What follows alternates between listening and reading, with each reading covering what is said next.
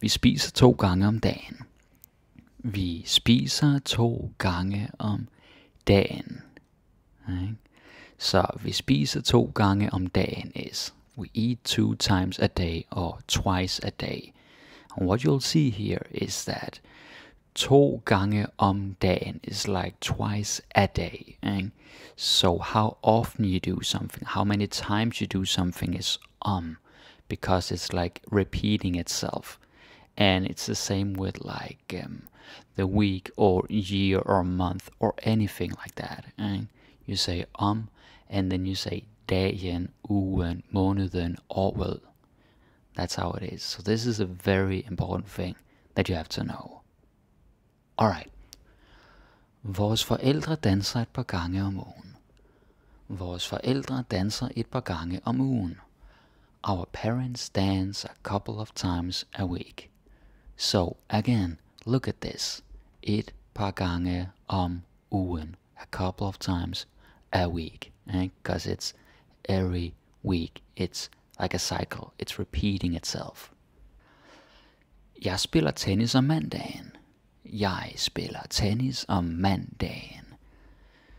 So I play tennis on Mondays. Now, mandagen literally means the Monday. And so it could also be a specific Monday. But generally speaking, like if you have some activities that you do on certain weekdays, like every week, then you will say om mandagen, om tirsdagen, om onsdagen. Right? Yeah, that might be weird for you if you're thinking in English, like why is it the Monday, the Tuesday, etc. But that is just how we say it. Right? Jeg spiller tennis om mandagen. Beautiful. De fleste sover om natten. De fleste sover om natten. most people sleep during the night. Or I could say most people sleep at night. Eh? At night. Because om natten, just as it's om dagen, is like during, like at that time, because it's repeating itself. De fleste sover om natten. And also notice here that it says de fleste but it doesn't say de fleste mennesker or folk or personer or any of these words that we have for people. That is because we already know from the context that we're talking about people. De fleste sover om natten. Okay, moving on. Vi arbejder om dagen. Vi arbejder om dagen. We work during the day or we work a day, right? in the daytime. Vi arbejder om dagen. So this is actually the same as the other one. Right? Om natten, om dagen. Right? That's what we say. You can also say it about um, animals. I think like some are more active at night, for example, bats or whatever. So it's very useful in that context. Alright. So, the next one. Filmen starter om to minutter. Filmen starter om to minutter. Okay, the movie starts in two minutes. This is different because you see the translation here. Why is it in? Like, that doesn't make sense, right? From your perspective. But it does. It really does. Because in Danish, when you are counting down, like, like there's a counter, there's a clock, there's some time remaining, time left, then you say um. Okay? Um, to minutter. And I'm to repeat this because it's very easy to make a mistake here.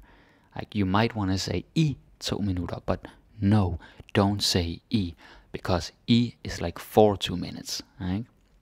So obviously you can't say that here. You could say it in other context. Like we saw in film i two minutter, right? we saw a movie for two minutes. I mean, it's a very short movie, but grammatically you can say it. So like e is for how long it uh, will last or is lasting or lasted. But um is like counting down, like two minutes left before the movie starts. Yeah, this is very important, so please don't forget. Alright, we move on. Hmm, jeg skal gå hjem om lidt. Jeg skal gå hjem om lidt. I have to go home in a moment or in a bit. Uh, look at this. Jeg skal gå hjem om lidt. Now, go hjem is of course go home, eh? and omelet could be in a moment or in a bit, like in a short while. You could also say om et øjeblik, but omelet is just more common. So uh, again, it's kind of like counting down, like um lit, even though lit just means a little or a bit. But uh, yeah, I think you get it. Jeg skal gå hjem om. Alright, and now that we're already singing. Hvad handler sangen om? Hvad handler sangen om? What is the song about? Okay? Hvad handler sangen om? So, handler. Handler is a verb that means about, like it's about something. And that is different from English. Now, I could just say, hvad er om? But that would be unnatural. Like, it's more common to say handler. If you're talking about a song or a story, anything where there's like action and a plot, then we say handler. Right? Like there's a premise. Handler, la la la, om. Hvad handler sangen om? What is the song about? And if you took out the um, that would also be wrong. Hvad handler sangen? No, no, no, because handler on its own can also mean to act. And like det er tid til at handle. Like it's time to act. Like go to action. Or it could be handle like to do grocery shopping. So it's very important that you have this um. Alright, cool. Then you have Det var en historie om kærlighed. Det var en historie om kærlighed. Ja, så det var en historie om kærlighed. It was a story about love. And this is very similar, right? because it's about love. It's about that, that topic. Det var en historie om kærlighed. It was a story about love. Nu vil jeg fortælle dig om en legende. Nu vil jeg fortælle dig om en legende. Now I will tell you about a legend. So this is similar to before, but slightly different. And so this is like talking about, well, specifically telling someone about. Fortælle. Fortælle dig om en legende. Yeah. It's pretty straightforward and kind of like English. Hmm. Hvad snakkede I om? Hvad snakkede I om? Hvad snakkede I om? What did you talk about or what were you talking about? And E is of course you as in you guys, eh? plural. So you have the uh, topic or the subject and that's sort of the center of the conversation. So what were you talking about and what was it centered around? Like that. I om? And then Hvad ved du om den sag? Hvad ved du om den sag? Hvad ved du om den sag? What do you know about that case or matter? Now, looking at this eh, is of course knowledge about something. Again, it's regarding some case or matter. So, um is the key word here. Very good stuff. Det gælder om at vinde. Gælder om at vinde. It's about winning, or the point is to win. Now, this one is a little bit harder to get because gela can have different meanings. Gela can be like it applies, but here gela om is kind of like it's about winning. Like um, you know, there's a I don't know sports tournament, and, and it's like, hey, the point is to win. Det gælder om at vinde. Um, but you could also say it about many other things. Det gælder om at, like let's say within the game, like football or whatever, you could say det gælder om at score, like, like scoring, making goals. So like, it's about scoring. Det gælder om is like the point or the purpose, like, or the way to do it right. Yeah, it can be a little bit tricky. Gælder.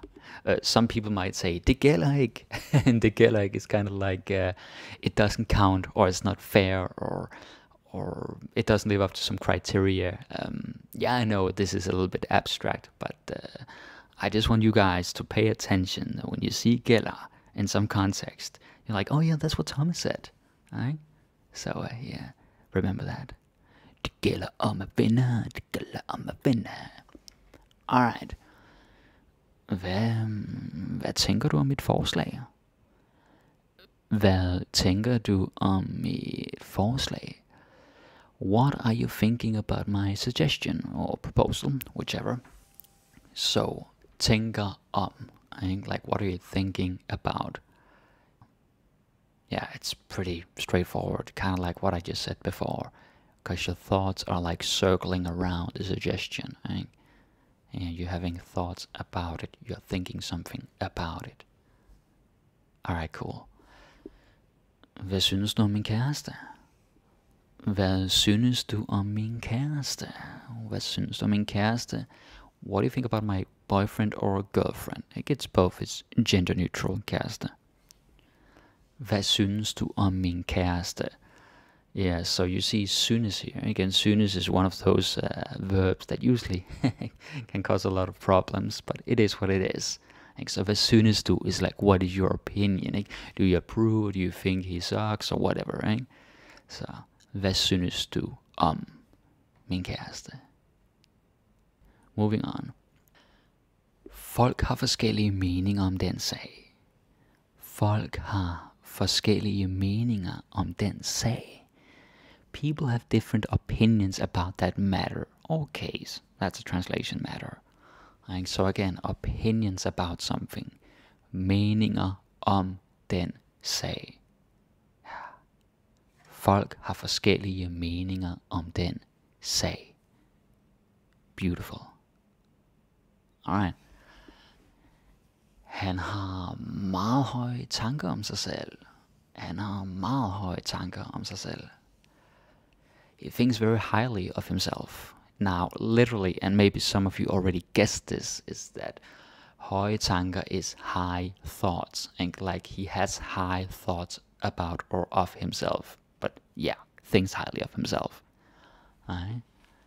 Meget høje om sig selv, about himself. Yeah, that's right. Sig selv is like oneself. So you don't have to say, well, you shouldn't say ham selv or hin selv. It's no, no, no, no. It's sig selv, regardless of gender. Yeah, gotta love that uh, reflexive stuff. Hmm. Jeg er ikke sikker på, om han ved det. Jeg er ikke sikker på, om han ved det. I'm not sure if he knows it. Right? So this gets very interesting because ikke sikker, that is of course not sure, like not certain. And here um is like if or whether, and could also be whether. So I don't know, I'm not sure if he knows it, whether he knows it. The key here is that you don't say this, because I know that some of you, you'll feel tempted to say this, and because that's what, that's how you say if in Danish. But that's not what you say if it's like whether or not. Right? If it's a direct conditional, like uh, hvis du giver mig en gave, bliver jeg glad. If you give me a present, I'll be happy. Then it's this. But this is not really a conditional. This is more like whether or not. Right? There's some uncertainty, and therefore it's um. Basically, if you can say whether in English, then you have to say um in Danish. Okay? Alright, that's like a little uh, rule of thumb. Good stuff. Mm, ved I, om det bliver godt vejr i morgen? Ved I, om det bliver godt vejr i morgen? Do you know if it'll be good weather tomorrow, or if the weather will be good? Om det bliver godt vejr i morgen. And this is the same thing, and like we just talked about um, if, ved I um. And this is this is huge. So I really stress this point because I've been teaching for like uh, how many years? Six and a half years. You know these private lessons that I do, and this is one of the most common mistakes, even from intermediate learners. I hear it. They keep saying this, this, this, and I'm like, no, it's um. Please remember, right? Ved I om det bliver godt i morgen? Yeah. Alright, next one. Uanset om man kan lide det eller ej, skal man betale skat. Uanset om man kan lide det eller ej, skal man betale skat. whether you like it or not, you have to pay taxes. Oh, what a Danish thing to say. Regardless. So, uanset. And uanset is like no matter or whether or regardless. Uanset um whether so like there is some whether or not and you can actually see it here. Om man kan lide det eller ej, if you like it or not. Eller ej is like or not when it's uncertainty. Eller ej. Vil du have den eller ej? Do you want it or not? Skal man betale skat? You have to pay taxes. And of course there is inversion here. But you guys already know inversion because I did a video about it. Yeah.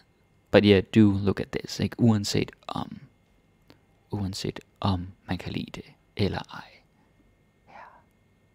Alright. Tænk dig om, før du gør noget dumt. Tænk dig om, før du gør noget dumt. Tænk dig om, før du gør noget dumt. Think twice or think carefully before you do something stupid.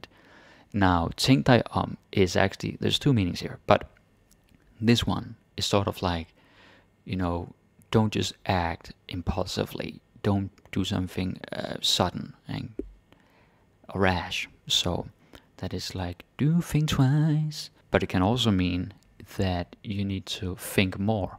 Like if I ask you a question, maybe it's a quiz or something, or maybe it's about Danish, but I want you to really think before you throw in the towel. I'm like, ah, tænk dig om, eller tænk dig om. Like, come on, think more, think carefully. So it depends on the context. But in this case, obviously, it's about thinking before acting, eh? because the other person is about to do something stupid. Beautiful. Alright. Jeg kan se, rollerne er byttet om. Jeg kan se, rollerne er byttet om. I can see the roles have been switched or reversed. Yeah, this is a little bit strange out of context, but you know, just a typical situation where you have changed positions or roles, and uh, like, oh, now I'm the boss and you're the whatever, and could be it, could be anything. So at bytte, bytte is to switch or trade. It really depends on the context. And like if you had Pokemon cards as a kid, that would be at bytte to exchange or trade. But bytte om is like to change one for another. Right? Så rollerne, the roles, rollerne er byttet om. Yeah, interesting stuff. And you have, jeg beder dig om at hjælpe mig. Jeg beder dig om at hjælpe mig. I'm asking you to help me, or I ask you to help me. So, when you are asking someone to do something or for a favor, then it's at bede nogen, meaning someone, at bede nogen om, and then the thing? The act or the action or the thing you want from them. Jeg beder dig om. And it's important that you have the um because if you don't say the um, if you just say beer die, I mean beer die is fine. And if you just want to say like I beg you or I'm asking you, then fine. But it could also be misunderstood depending how you use it because at bathe also means to pray. So beder dig om, ikke? I'm asking you to do something. The next one is sort of hammering that point home. Hun bad mig om en tjeneste. Hun bad mig om en tjeneste. She asked me for a favor. Now, so with this one, it's a noun. Eh? This one up here, at hjælpe mig, eh? to help me. That is a verb. Om en tjeneste, that's a noun. Eh? Bad mig om en tjeneste. Yeah, it's very good. Bell is of course just a past tense, like, and it's irregular. That's why beder becomes bell, not bell. Bell, that's shower. ah, Danish pronunciation. Gotta love it. Mm, jeg bryder mig ikke om maden. Jeg bryder mig ikke om maden. I don't like or I don't care for the food. So, when you came to Denmark, I'm sure you learned that you could say, jeg kan ikke lide. And Jeg kan ikke lide det, jeg kan ikke lide maden, jeg kan ikke lide regn, jeg kan ikke lide whatever. You learned that. Fine. But if you want to be polite, and if you want to sound like you're not speaking directly from a textbook, then you're going to say this. Jeg bryder mig ikke om. It's like I don't care for it. It's not my cup of tea. It doesn't speak to me, it doesn't appeal to me, whatever. right? It's much, much politer. I remember when I was a kid, I would say, uh, jeg kan ikke lide det, because, you know, I was a kid. And then they would say, no, no, du skal sige, you have to say, uh, jeg bryder mig ikke om. Right? It's more polite. So yeah, think about that. Alright. then you have, vi lader som om vi ikke ved noget. Vi lader som om vi ikke ved noget. Altså vi lader som om vi ikke ved noget. We're acting or pretending like we don't know anything. Now look at this. At lade som om. Um. At lade som om. Um. That is to pretend, ikke? or to act as if. That's what it means. So you have to get all of them. Lade som om. Um. You cannot like uh, take one of them out. That's that's strange. Right? Så vi lader som om. And yes, some of you may already know that lader is also let. Like, jeg lader ham gøre det, og jeg lader ham gøre det. I'm letting him do it. Or I could say, lad os gøre det. Let's do it. So you have to look at the whole sentence, eh? and you have to look at the words next to it to see the exact meaning. Hun lod som om alt var okay. Hun lod som om alt var okay. She acted like everything was okay. Or again, she pretended. Like so, lod is just the past tense here. Hun lod som om alt var okay. Yeah. Very beautiful. Det er som om han ikke elsker mig mere. Det er som om han ikke elsker mig mere. It's like he doesn't love me anymore. Now, this is of course very sad, but if you look at it, like it's kind of similar to what we had before. Uh, det er som om it is like or it is as if. And so this is what you say when you don't know, but you're saying what it seems like, what it appears like. Uh, det er som it's like, and you know, sometimes people do that just to buy time. They don't know how to finish the sentence. Det er som om, han ikke elsker mig mere. Okay. Du er ligeglad, som om du ikke har noget at miste. Du er ligeglad, som om du ikke har noget at miste. You don't care, as if you have nothing to lose. Now, this one is kind of long, but let's look at it. Du er you don't care. And it's pretty straightforward. Som om, as if, there it is again. Du ikke har noget at miste. You have nothing to lose, or you don't have anything to lose. Yeah. And a little bit similar, but not quite all the way. Hun er ligeglad med, om vi kigger på hende. Hun er ligeglad med, om vi kigger på hende. She doesn't care if we look at her. So again, um is like if, eh? like if that happens, if we do that, she doesn't care. I could also say, uh, like I could take out the um and just say hun er ligeglad med vi kigger på hende, or at vi kigger på hende. So you have some options here. You don't have to say um. Right? The reason why you can put the um is so you emphasize the if or the whether. Like there's no certainty that you're looking at her. But if you do, she doesn't care. Alright, coolio. Der er noget om snakken. Der er noget om snakken. There's some truth to that, and you're like, huh, what? That makes no sense. So, der er noget om snakken literally means there's something about the talk. Right? So, like something has been claimed, any kind of claim. And maybe they say that, yeah, you should all go to Cayman Islands and make a bank. I'm not recommending you do that, but so like er noget om snakken is like there's some truth to a story or there's some truth to a rumor, right? Or some claim that uh, that a person has made. Er noget om snakken. And when you see this in a text, remember what I said here so you're not thinking, snakken. Are they talking about something? Is it a conversation? It's like, nah, it's not quite that. It's that there is truth to the claim. Right? And the next one is similar. Det kan der være noget om. Det være noget om. There might be some truth to that. And so the sentence is very different in Danish, but the translation is so similar in English. So det kan der være noget om. There could be something about that.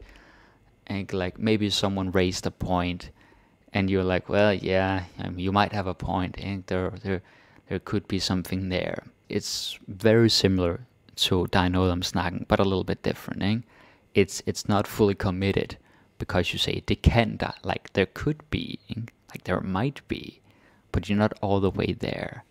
Yeah, I mean, both of these are holding a little bit back. Like they're not, yeah, er like that's right. No, no, no, they're, they're holding back a little bit. Yeah. I understand that these two are very hard, and one of the reasons why I do these is also so you know what they mean when you see them in a context. Because out of a context, you're like, what is this? But then when you see them and you remember this, you're like, oh yeah, ding, ding, ding, light bulb moment. Right? Kind of like that. Alright, this one mm, could be tricky. Det er der om noget værd at huske på. Det er der om noget værd at huske på. That is, if anything, worth remembering or keeping in mind.